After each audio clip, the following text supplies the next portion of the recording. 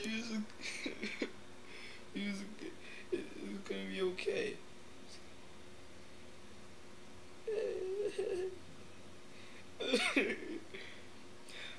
well, guess I owe him this much.